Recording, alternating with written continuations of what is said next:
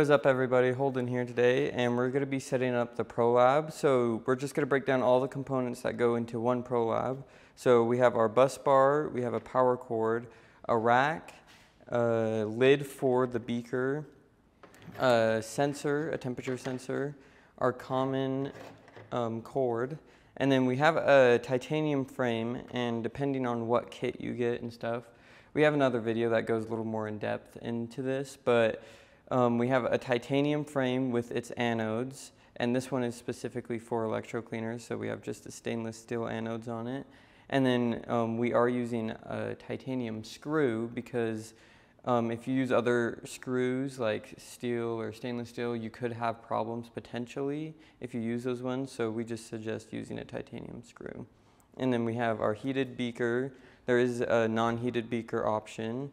And then we have the base of the ProLab and then the ProLab tower itself. And then taped to this ProLab, we have these interconnect cables. All right, so we are going to attach this uh, tower to the base. And so these screws are usually just hand tightened into the tower. And then we're going to line up this index pin with this index hole. It should just slide right in. And then we're going to put that screw that we just took out and we can just start it and make sure it's going into the tower, just like that. And then we can get our screwdriver and we can tighten it all the way down.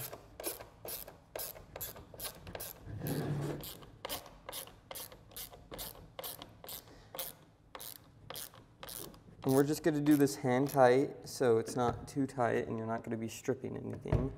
But that is how you attach the tower to the base of the ProLab. All right, so to set this up, we're going to put our beaker onto our base of our tower. And then for the frames, we need to put our temperature sensor in, and it's going to go on this left side, just in these little index holes and that will go into the left side and just we're going to pull it down just a little bit. And then speaking a little more on this frame, these are pre-done when we send them out to you if you buy a ProLab Tower kit. So that's the nice thing and the advantage of buying the ProLab Tower kit. But if you are buying them separately, the number of anodes will depend on um, how much surface you're plating onto and just a bunch of other things. So this tower is all set up for what we need. So we're just gonna get our, um, our titanium frame and just push that into our beaker and it should sit nicely in there. And then we are going to unscrew this little thumb screw right here and we can slide our beaker onto it or the titanium frame hole right there onto that and then we need to put this back on just like that and then as you are setting up your tower, we want to make sure everything is off. Like um, if you have a, a power strip, you want to make sure that's turned off. So when we're plugging in everything, it's not turning on and then the beaker's turning on and stuff. So um, we're just going to plug in our beaker and the power cord is not plugged in. So we're just going to plug that in right here into the side. And then for our temperature sensor, we can actually plug that into right here. So we'll plug our temperature sensor in while the tower is off. And then we can either put on our bus bar or we can just not put on our bus bar yet, depending on what you're doing. So for the bus bar, you can unscrew this little bus bar screw right here and screw it back in. Make sure that has a good connection. And the bus bar is now attached. And as you can see right here, our titanium frame is actually touching our bus bar, and that is not good. We want to make sure our titanium frame is pushed into the beaker and not touching anything that is um, connected to the black ports because it can cause problems with um, these two making a connection between positive and negative and getting really hot and potentially ruining the components in the ProLab tower. So now we can plug into our, our common. All right, so we can plug this into that little port where our bus bar goes in. And the good thing about this, when we put our racks in, we actually can clip this for an extra um, connection. But the advantage of also connecting it to our rack is sometimes this bus bar gets kind of dirty and it has buildup on it. So this is a good way to make sure you are getting the, the correct voltage and the proper voltage when you clip that onto your anode frame. And then if you're all done with your solutions and plating for the day, we have this nice cap that just fits on right here and it seals it so um, not a lot of evaporation happens when your, uh, when your solutions are just sitting there. So this tower is all set up other than just plugging in its power cord into the power strip, which I will do that in the end. All right, so now we're going to connect multiple towers together. So to do this, we're actually going to get our interconnect cables on the side of our towers and just peel that piece of tape off. And then for the similar towers that have the same voltage that you want to be connected to the same voltage, you'll connect the red and the black wires to that tower. And then for all the towers, you're going to be connecting all the black wires together so they're all connected on the common but not connected on the red wire. So for example, the gold solution is going to have a different voltage than our electroclean and surface activator, so we're not going to connect it by the red wire. So to connect these wires, we'll just take off these little thumb screws on the side of our towers. And then we'll connect our black to our black and our red to our red. And then just push, put the little thumb screws back on just like this. All right, and then once they're connected, you can push them together, and they should be connected in the back. And then for our gold, our surface activator to our gold, we don't want the voltage connected. So we'll take off the red lead because we don't want that just sitting on, just sitting there and potentially touching something and shorting our circuit. So now we'll connect the black common wire to the black little thumb screw on this side, just like this.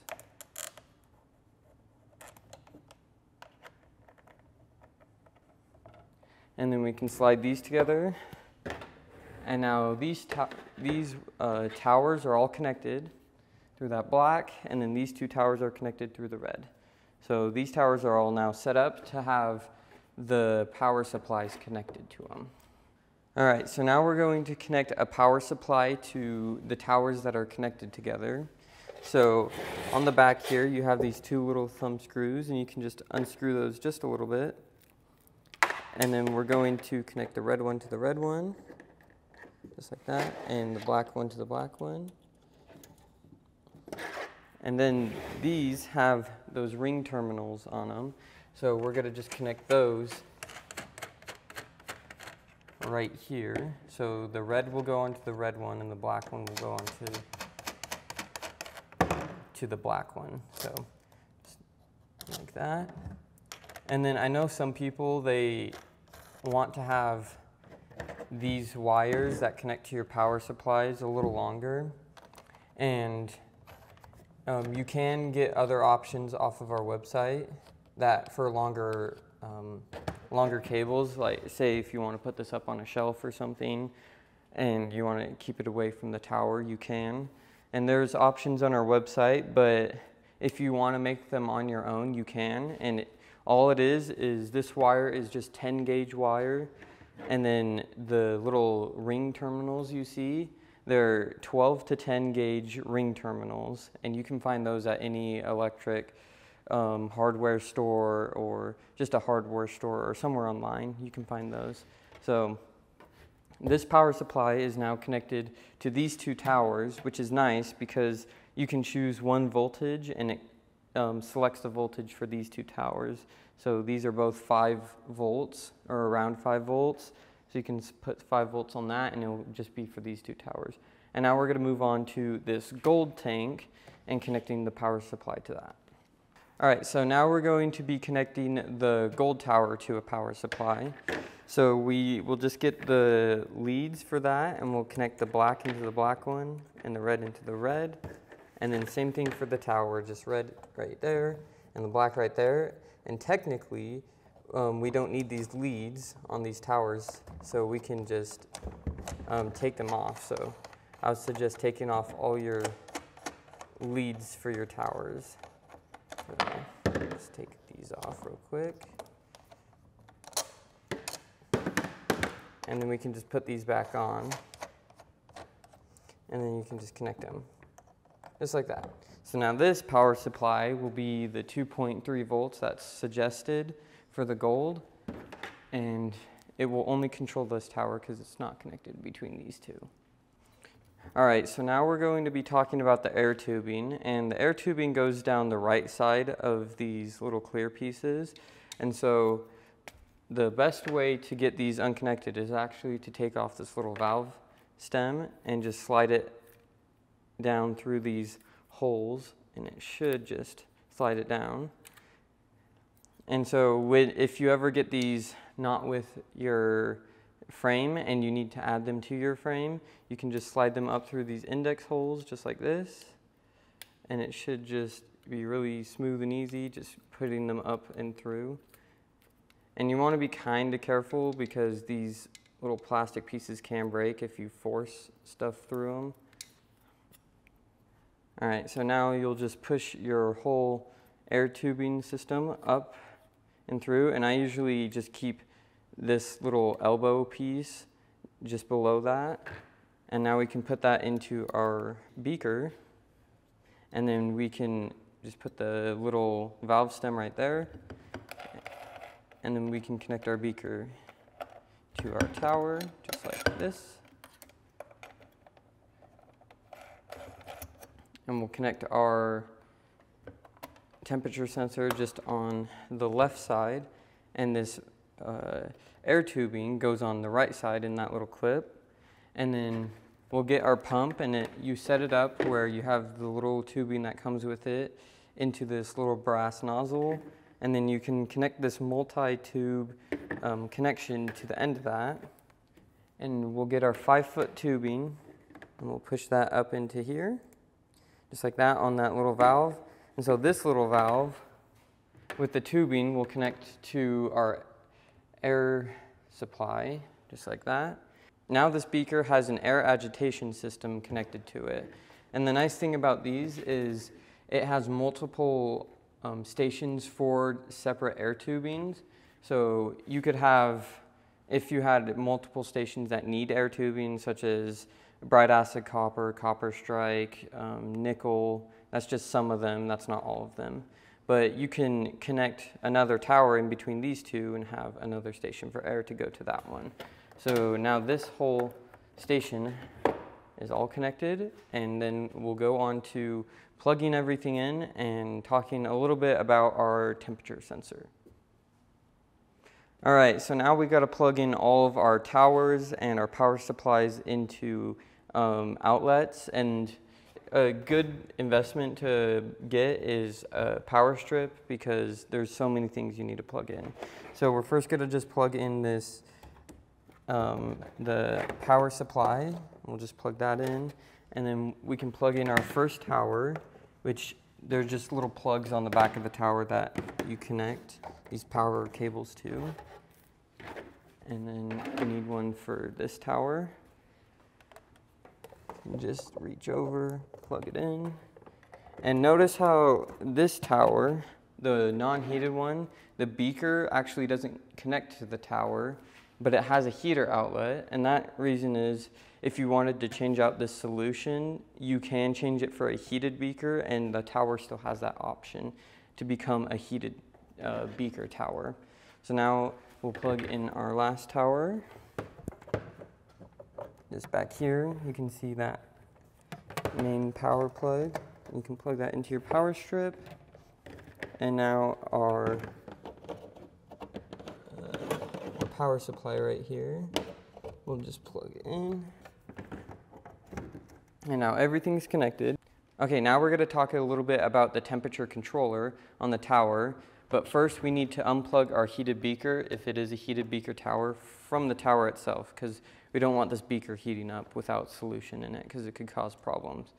So right here, we're going to just turn on our tower, and then for setting this temperature controller, there's a little set button, and you just push that, and it'll be 100, set to 110 degrees. And for example, this gold tower needs 100 degrees, so we'll set it down to that, and then you just hit this set button again, and it should stop flashing, and then it'll tell you when it is working with that little red light right there. And then you'll fill your beaker up with solution, and then to have it heated, you just plug in your heated beaker back into the tower, and it should start heating up. All right, so I've set up this whole three station ProLab setup, and I hope this video was helpful and answered a few questions if you had any. But if you do have more questions about setting this up or any information on our ProLab towers, uh, go to our website and at our tech email, you can ask questions there and we'll get back to you. So, so th thank you so much for watching and I hope you guys have a great day.